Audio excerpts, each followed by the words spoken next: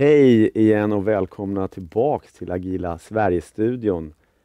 Jag heter Ola Elnestam och jag sitter här tillsammans med Björn Wismén. Hej Björn! Hej! Trevligt att vara tillbaka. Ja, Ja. Vi har eh, enligt vår vana trogen och vad vi har lovat en ny gäst. Idag har vi Lennart Fridén, världens bästa SL, till vardags teknisk eller utvecklings eller lagcoach som idag är dagen här har klivit ner från sin höga häst. Varmt välkommen Lennart! Tackar, tackar. Härligt att vara här. Ja, eh, du är här för att prata om 365 dagar utan brallor.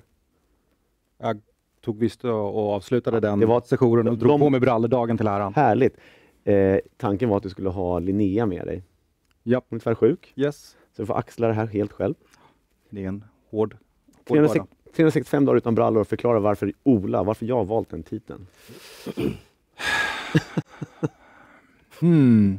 Förklara. Det kändes som att det hände någonting där en, för, för- en tid sedan och Ja. att eh, det kom en liten våg eh, genom hela världen där folk konstaterade att det här behovet av brallor var kanske något upphaussat jämfört Mm. med vad, vad man behövde göra. Speciellt om man jobbade hemifrån, Precis, som många gjort. jobba hemifrån. Eh, spinnen på det här är alltså gruppprogrammering eller mobbprogrammering Mm. på distans. Yes. Eh, innan vi sätter igång, liksom, vad, kan du förklara begreppet, kan du förklara konceptet grupp... Mobbprogrammering först, mobbprogrammering. som du så själv sa, grupp, det är, mobbprogrammering är en form av gruppprogrammering där eh, istället för att man eh, låter ett team sitta eh, i, på individbasis och jobba med olika uppgifter som sen ska bli, pussla, pusslas ihop till någon form av eh, helhet, eh, så sätter sig teamet med en sak, en dator eh, och jobbar på liksom exakt samma sak samtidigt. Mm. Ehm, och det här är, är, är ju ett, ett, konceptet är ju gammalt, men det har eh, fått myntats, liksom, själva namnet mobbprogrammering myntades för ungefär tio år sedan av Woody Soul. Eh, på senare tid så har det funnits en del liten rörelse där man har försökt döpa om det. Det finns en del som tänker att det här med mobbing är ju dåligt. Om någonting heter mobbprogrammering, då måste det handla om att man ska trakassera sina teammedlemmar så mycket som möjligt. Mm. Och Det är väl kanske lite lovvärt att man försöker hitta ett namn som är mer inkluderande. Det, det, det applåderar jag. Eh, det man kanske lite historielöst glömmer bort är då att, att en poäng med att kalla det för mobbprogrammering är just att det är ehm, mobb som i en pöbel. Så Mm. pöbelprogrammering hade varit bra namn på svenska. Just det här att man Mm. låter eh, man styr inte från ovan, utan Nej. det handlar om att teamet fattar besluten. Det är teamet Ja, som jobbar. Jag googlar faktiskt lite på det. Pöbel eller mobb kommer egentligen bara från folket om man går jättelångt tillbaka till grekiska. Men det är inte det vi ska göra idag. Nej, nu ska vi i allra, allra högsta grad ägna oss liksom lite mer åt här och nu. Inte på grekiska. Inte på grekiska. Skönt.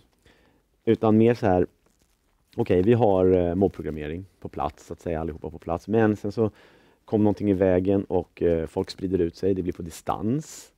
Så hur känns distans mobbprogrammering? Jämfört då, då med mobbprogrammering, kontrasterar de mot varandra? Ja, eh, jag var ju väldigt, väldigt länge en väldigt stark förespråkare för att ett team jobbar som allra bäst när det är på plats, när alla sitter tillsammans, när alla har maximerat den kommunikativa bandbredden, när man inte bara kan höra varandra, man kan se varandra, man kan avläsa varandras kroppsspråk. Eh, det finns så mycket saker som vi kan kommunicera eh, bara med sättet vi sitter eller saker vi kan signalera, ibland omedvetet med en panna som rynkas och man inser att oj, nu håller jag faktiskt på min långvindiga förklaring jag har gjort, jag är inte tillräcklig utan jag måste göra någonting annat. Mm. Och ju fler av de här kommunikationsvägarna som man plockar bort, vilket görs när man inte längre sitter tillsammans samlade på ett och samma, på en och samma plats i tid och rum, eh,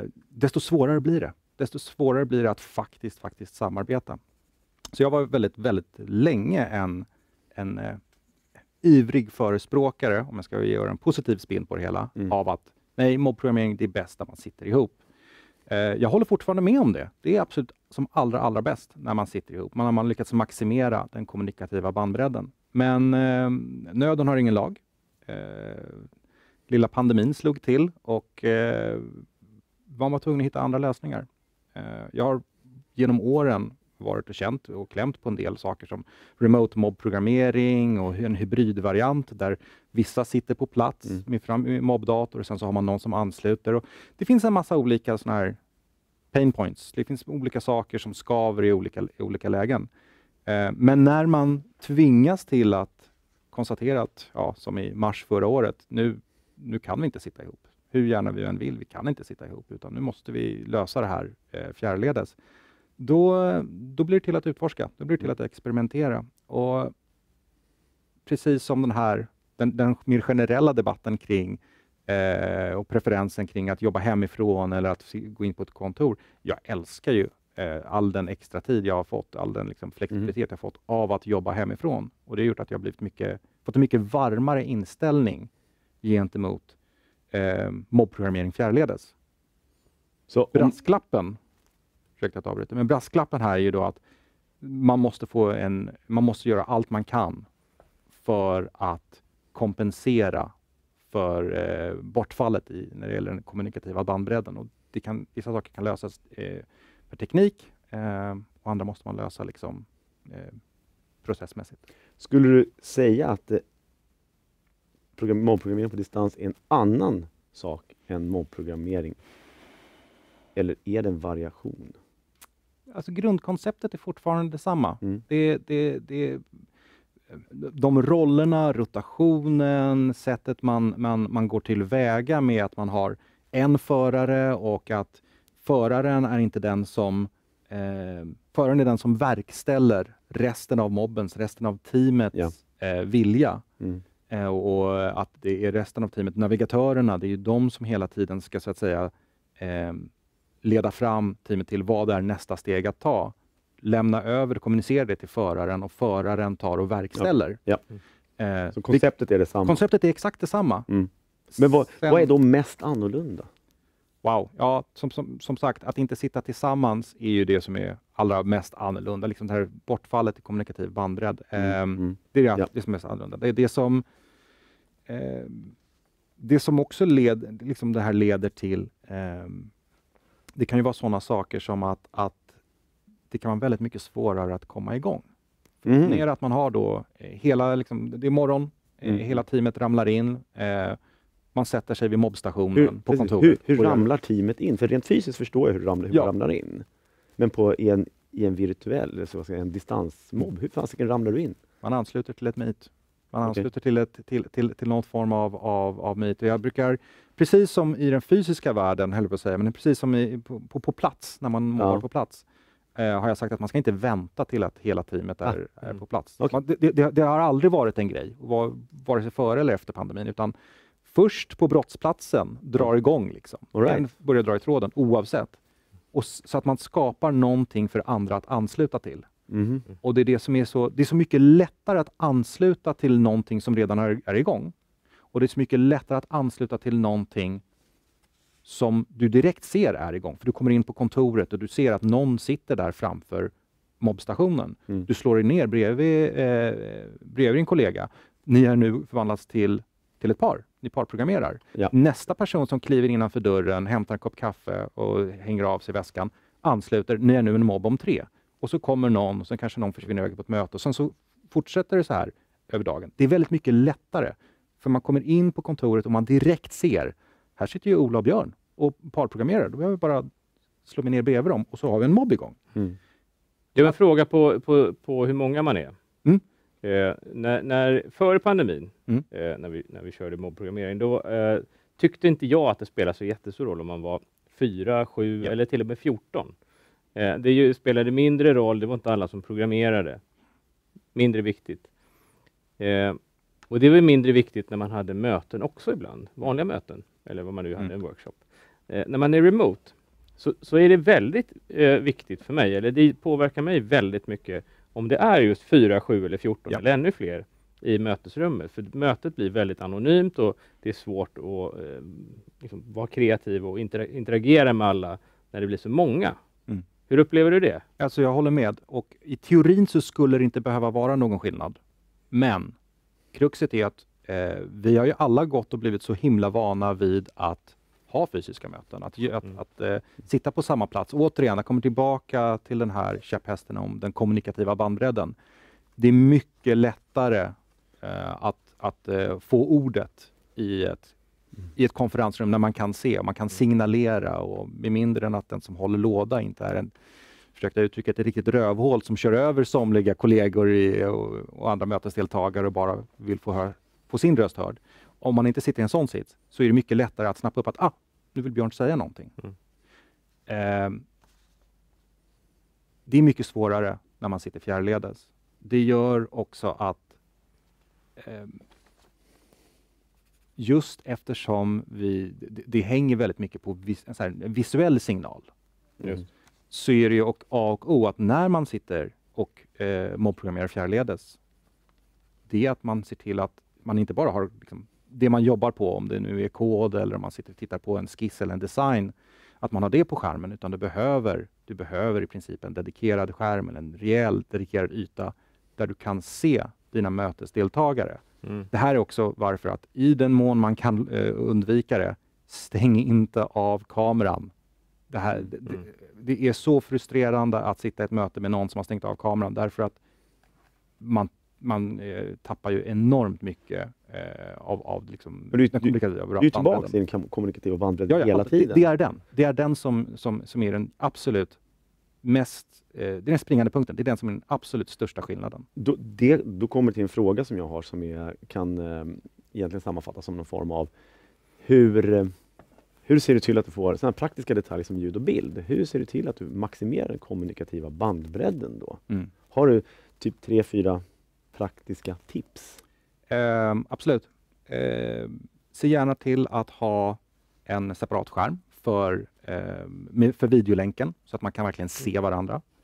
Ehm, I allra bästa, bästa fall, eh, en av de bästa superverktygen, de hemliga vapnet så att säga inom, inom vårt skrå, det är en whiteboard. Det är det Mm, bästa mm. verktyget som finns. Se gärna till att ha en, en, en tredje skärm med, eh, med en delad whiteboard. Mm. Det finns få saker som är så plågsamma att med en dators mus eller en trackpad försöka rita någonting på en whiteboard därför att vi sträcker oss i normala fall efter en penna. Ja. Det är naturligt, det är ett verktyg som alla behärskar. Eh, och med dagens priser, det, jag skulle säga att det, det, det är bara dumsnålt att inte utrusta eh, ett team med iPads eller eh, ritplattor med en penna. Det ska vara en fysisk penna. Du ska försöka komma så nära whiteboard-känslan som möjligt. När man har då whiteboarden på ena sidan, du har eh, videolänken på, an, eh, på andra sidan och just har du liksom det, det ni jobbar på, om det är så i kod eller vad Mm. det kan tänkas vara, Just. framför er. Och allt det här förutsätter ju naturligtvis att man har, det krävs lite teknik. Ja. Inte mycket Mm. teknik, men det krävs lite teknik. Det krävs, eh, det krävs ju att man naturligtvis har, har en digital bandbredd för att hantera det. Det. Så sitt inte på en, på en eh, eh, skev eh, lina. Liksom. Det, det gagnar ingen.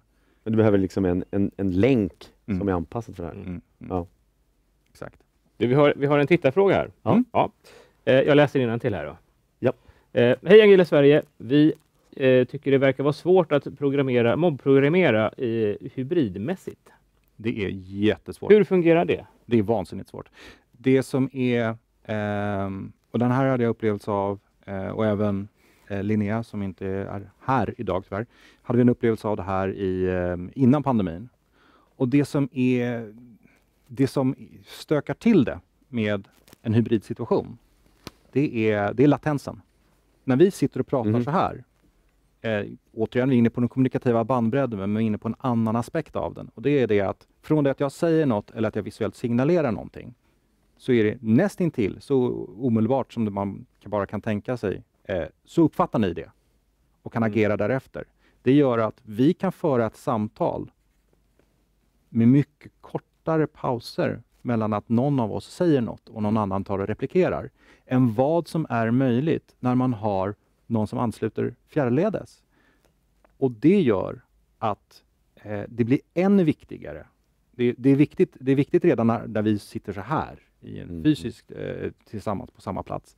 Eh, det är väldigt viktigt när alla sitter remote. Då har man visserligen samma spelplan. Men i en hybridsituation så blir det än viktigare att jobba på pausen. Just det. mellanrummet som man lämnar tomt mellan det att man har sagt något, förmedlat något. Hur, hur lär man sig det då? För normalt, eh, för mig i alla fall, Mm. eh, när jag kliver på som antingen ensam remote eller med några andra och så sitter det några i rummet, vad det än må vara för möte, Mm. Så eh, verkar det vara väldigt känsligt att tala om att Hallå ni i rummet, ni behöver fokusera på oss som inte är i rummet. Mm. Eh, och det verkar vara väldigt känsligt. Mm. Eh, hur gör man det i ett i ett mobbteam då? Ja, eh, ett av de bästa sätten att by bygga liksom, empati, det är ju att folk faktiskt upplever saker och ting. Mm. Så eh, jag skulle rekommendera att om man nu sitter i en situation där man har kanske en sån här hybrid, ett, ett hybridteam, en hybridmobb, eh, även om man den där, är den där personen som alltid åker in till kontoret, säg att ta en dag i veckan, åtminstone i början, och säga nej, nu ska jag känna på hur det är att vara fjärransluten Mm. och testa det och inse hur mycket svårare det är att för den som sitter fjärrledes att få en syl i vädret, hinna ta in, processa vad som har sagts eh, på, i, i, på platsmobben, eh, göra sig hörd. Liksom. För när, när man gjort det här ett par varv, eh, folk har generellt sett, eh, i min erfarenhet, inte en, en otroligt svårt för att bygga lite empati, men det kräver att de har varit, upplevt någonting. Mm. Det är lite grann den här eh, dra på sig någon annans skor liksom, och knalla ett par kilometer. Jag eh, tittar på klockan lite grann. Jag tänker vi har ett tid för en fråga till, eller rättare sagt, eh, jag skulle vilja att du, till skillnad från såna här abs absoluta så no-no, så får man inte göra, Mm. så skulle jag vilja ha en så här absolut yes, yes, gör gärna det här. Ja, Mm. ta paus. Ta paus, därför att det är så vansinnigt eh, lätt att när man sitter eh, eh, fjärrledes, att man fastnar. Det generellt sett brukar det vara svårare att eh, eh få till ett, en snabb rotation av förare. Eh, jag brukar rekommendera att man ska ha kanske 5 till 10 minuters rotation mellan förare i vanliga fall i en på plats-mobb. Det blir mycket lättare att, man, att, att förar, eh, sessionerna blir längre i en eh, fjärr, eh, fjärrmobb. Men försök att ett, inte göra dem för långa och två, kom ihåg att ta paus. För det är så vansinnigt lätt att fastna där i skärmen. Medan på en platsmobb så är det mycket lättare att någon säger, äh, men vänta, ska vi inte ta och gå och spela lite pingis? Hur ofta brukar du ta paus? För sällan. Hur, hur ofta skulle du vilja ta paus då? Ja, minst en gång i halvtimmen. Men Ja. grejen är den att, att, att eh, det här där är också någonting som är väldigt individuellt. Jag brukar förespråka, oavsett vilken typ av mobb man är i, att man ska inte hänga upp sig på att man kommer överens om att vi tar paus var 25 minut, okej. utan det handlar om att varje medlem i en mobb ansvarar för sin individuella energinivå. Mm. Om det innebär att jag behöver zona ut i 20 sekunder var 20 minut, då ska jag göra det. Behöver jag springa iväg och hämta en kopp te var 15 minut, då ska jag kunna göra det. Så länge man inte är föraren. Och det här är varför det är viktigt att få till bra rotationer av förare. Så länge man inte är föraren så ska man faktiskt kunna gå när som helst. Ja, Spännande. med de orden så tackar vi Lennart så mycket. Vi är på väg ifrån studion igen. Vi kommer ta en liten paus här. 30, 15.30 så jag och Björn tillbaka i studion för vilda spekulationer och sen kommer den sista programpunkten och det kommer vara eh, tillsammans med eh, Jasal och Ann-Louise. Eh, 15.30 ses vi igen. Tills dess, simma lugnt. Hej då!